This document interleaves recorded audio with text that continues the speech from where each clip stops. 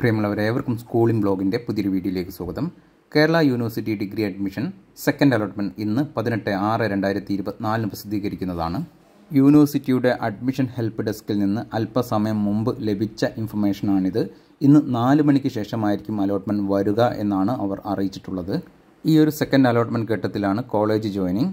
Allotment വന്നാൽ എത്രയും പെട്ടെന്ന് കോളേജ് ജോയിനിങ് ആവശ്യമായിട്ടുള്ള ഡോക്യുമെന്റ്സ് ഇതെല്ലാം ഇതുമായെല്ലാം ബന്ധപ്പെട്ട സ്ഥിര അഡ്മിഷൻ താൽക്കാലിക അഡ്മിഷൻ ഇതുമായെല്ലാം ബന്ധപ്പെട്ട കൃത്യമായിട്ടുള്ള ഡീറ്റെയിൽസുകൾ അടങ്ങിയിട്ടുള്ള ഡെമോ വീഡിയോ ചാനലിൽ അപ്ലോഡ് ചെയ്യപ്പെടുന്നതായിരിക്കും. പ്രസിദ്ധീകരിക്കപ്പെട്ട യൂണിവേഴ്സിറ്റിയുടെ ഷെഡ്യൂൾ പ്രകാരം പത്തൊമ്പത് മുതൽ ഇരുപത്തിരണ്ട് വരെയുള്ള ഡേറ്റുകളിലാണ് കോളേജ് ജോയിനിങ് സെക്കൻഡ് അലോട്ട്മെന്റ് സമയത്ത് പുതിയതായിട്ട് അലോട്ട്മെന്റ് ലഭിക്കുന്നവർ എല്ലാവരും യൂണിവേഴ്സിറ്റിയുടെ അഡ്മിഷൻ ഫീ പേയ്മെന്റ് ഓൺലൈനായിട്ട് നടത്തേണ്ടതാണ്. മുൻപ് ഫസ്റ്റ് അലോട്ട്മെന്റ് സമയത്ത് ഫീ പേയ്മെന്റ് നടത്തിയവർ രണ്ടാമതും ഫീ പേയ്മെന്റ് നടത്തേണ്ട ആവശ്യമില്ല. ഫീ പേയ്മെന്റ് നടത്തുന്നവർക്ക് മാത്രമേ അലോട്ട്മെന്റ് മെമ്മോ ഡൗൺലോഡ് ചെയ്യാൻ വേണ്ടി സാധിക്കുകയുള്ളൂ. അഡ്മിഷൻ സമയത്ത് നിങ്ങൾ കോളേജിലേക്ക് പോകുമ്പോൾ കൈവശം കരുതേണ്ട ഡോക്യുമെന്റ്സുകളാണ് ഇവ.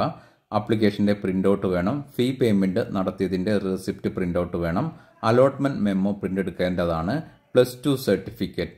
ഈ വർഷം പ്ലസ് ടു പാസ്സായവർ ആണ് എങ്കിൽ നിങ്ങളുടെ ഓൺലൈൻ മാർക്ക് ലിസ്റ്റ് കോപ്പി മതിയാക്കുന്നതാണ്. പിന്നെ ഡേറ്റ് ഓഫ് ബർത്ത് തെളിയിക്കാൻ വേണ്ട രേഖ അതായത് ടെൻത്ത് സ്റ്റാൻഡേർഡ് സർട്ടിഫിക്കറ്റ് എല്ലാവരും കൈവശം കരുതുക. പിന്നെ ടി സി അതുപോലെ തന്നെ കോണ്ടാക്ട് സർട്ടിഫിക്കറ്റ് ഇതിന്റെ ഒറിജിനൽ എല്ലാവരും കൈവശം കരുതേണ്ടതാണ്.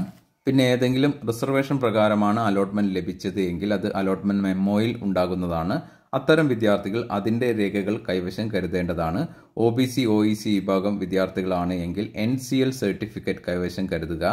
ജനറൽ വിഭാഗത്തിന് ഇ ഡബ്ല്യു എസ് റിസർവേഷൻ പ്രകാരമാണ് ലഭിച്ചത് എങ്കിൽ ഇ ഡബ്ല്യു എസ് സർട്ടിഫിക്കറ്റ് കരുതുക. എസ് സി എസ് ടി വിഭാഗം വിദ്യാർത്ഥികൾ കാസ്റ്റ് സർട്ടിഫിക്കറ്റ് കൈവശം കരുതുക. ഇ ഡബ്ല്യു എസ് സർട്ടിഫിക്കറ്റിനും എൻ സി എൽ സർട്ടിഫിക്കറ്റിനും ഒരു വർഷമാണ് കാലാവധിയുള്ളത്. കാസ്റ്റ് സർട്ടിഫിക്കറ്റിന് മൂന്ന് വർഷം കാലാവധി ഉണ്ടാകുന്നതാണ്. നിങ്ങൾ ഓൺലൈനിൽ നടത്തിയ അഡ്മിഷൻ ഫീ പേയ്മെന്റിനു പുറമെ അഡ്മിഷൻ സമയത്ത് കോളേജിൽ വ്യത്യസ്ത കോഴ്സുകൾക്ക് രണ്ടായിരം രൂപ മുതൽ അയ്യായിരം രൂപ വരെ നൽകേണ്ടി വരുന്നതാണ്. പിന്നെ പല കോളേജുകളിലും വ്യത്യസ്ത എമൗണ്ടുകളിലായി പി ടി എ ഫണ്ടും നിങ്ങൾ നൽകേണ്ടി വന്നേക്കാം. അതേസമയം സെൽഫ് ഫിനാൻസ് കോഴ്സുകളിലാണ് അഡ്മിഷൻ ലഭിക്കുന്നത് എങ്കിൽ വ്യത്യസ്ത കോഴ്സുകൾക്ക് പതിനായിരം രൂപ മുതൽ ഇരുപത്തയ്യായിരം രൂപ വരെ ഓരോ സെമസ്റ്ററിലും ആറ് മാസവും നിങ്ങൾ ഫീസ് നൽകേണ്ടി വരും. പിന്നെ ഒരു കാര്യം പ്രത്യേകം ശ്രദ്ധിക്കുക. നിങ്ങളുടെ കുടുംബ വാർഷിക വരുമാനം ഒരു ലക്ഷത്തിൽ താഴെയാണ് എങ്കിൽ അത് തെളിയിക്കുന്ന ഇൻകം സർട്ടിഫിക്കറ്റ് നിങ്ങൾ കൈവശം കരുതേണ്ടതാണ്. അത്തരം വിദ്യാർത്ഥികൾക്ക് ഫീസിൽ ഇളവ് ലഭിക്കുന്നതായിരിക്കും. എല്ലാ വിഭാഗം വിദ്യാർത്ഥികൾക്കും ഒരു ലക്ഷത്തിൽ താഴെയാണ് കുടുംബ വാർഷിക വരുമാനമെങ്കിൽ ഫീസ് ഇളവ് ലഭിക്കുന്നതാണ്. ഇനി സ്ഥിര താൽക്കാലിക അഡ്മിഷനുമായി ബന്ധപ്പെട്ട കാര്യങ്ങൾ പറയാം. സ്ഥിര അഡ്മിഷൻ എടുക്കുന്ന വിദ്യാർത്ഥികളും താൽക്കാലിക അഡ്മിഷൻ എടുക്കുന്ന വിദ്യാർത്ഥികളും നിങ്ങളുടെ ഡോക്യുമെന്റ്സുകൾ എല്ലാ ഒറിജിനൽ ഡോക്യുമെന്റ്സുകളുമായിട്ടാണ് കോളേജിൽ അഡ്മിഷൻ ആയിട്ട് പോകേണ്ടത്. ഫസ്റ്റ് ഓപ്ഷനിൽ അലോട്ട്മെന്റ് ലഭിച്ച വിദ്യാർത്ഥികൾക്ക് സ്ഥിര അഡ്മിഷൻ മാത്രമാണ് ലഭ്യമാവുക.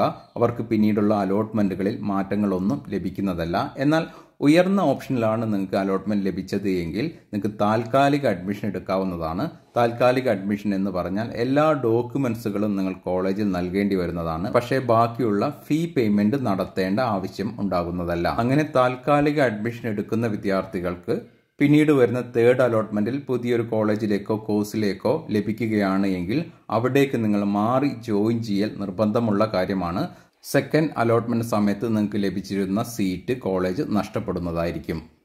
ഇനി ഫസ്റ്റ് ഓപ്ഷനിൽ അല്ല ഉയർന്ന ഓപ്ഷൻ ലഭിച്ച വിദ്യാർത്ഥികൾക്ക് ലഭിച്ച സീറ്റ് മതി എന്നുണ്ടെങ്കിൽ അതിൽ സ്ഥിര അഡ്മിഷനും എടുക്കാൻ വേണ്ടി സാധിക്കുന്നതാണ്. ഹയർ ഓപ്ഷനുകൾ ക്യാൻസൽ ചെയ്താൽ മതി. നിരവധി വിദ്യാർത്ഥികൾ വീഡിയോ കാണുന്നവരായിട്ടുണ്ട്. എന്നാൽ തൊണ്ണൂറ്റൊമ്പത് ശതമാനവും വിദ്യാർത്ഥികളും സബ്സ്ക്രൈബ് ചെയ്യുന്നില്ല. ഒന്ന് സപ്പോർട്ട് ചെയ്യണമെന്ന് അഭ്യർത്ഥിക്കുകയാണ്. ഈ വർഷത്തെ കേരള യൂണിവേഴ്സിറ്റി ഡിഗ്രി അഡ്മിഷനുമായി ബന്ധപ്പെട്ട കൃത്യമായിട്ടുള്ള ഡീറ്റെയിൽസുകളും അപ്ഡേഷനുകളും ഈ ഒരു ചാനൽ വഴി നിങ്ങൾക്ക് ലഭിക്കുന്നതായിരിക്കും. ചാനൽ വീഡിയോസ് നിങ്ങൾക്ക് ഉപകരിക്കുന്നുണ്ട് എങ്കിൽ ഒന്ന് സപ്പോർട്ട് ചെയ്യണമെന്ന് ഒരിക്കൽ കൂടി അഭ്യർത്ഥിച്ചുകൊണ്ട് നിർത്തുകയാണ് ഏവർക്കും നന്ദി നമസ്കാരം.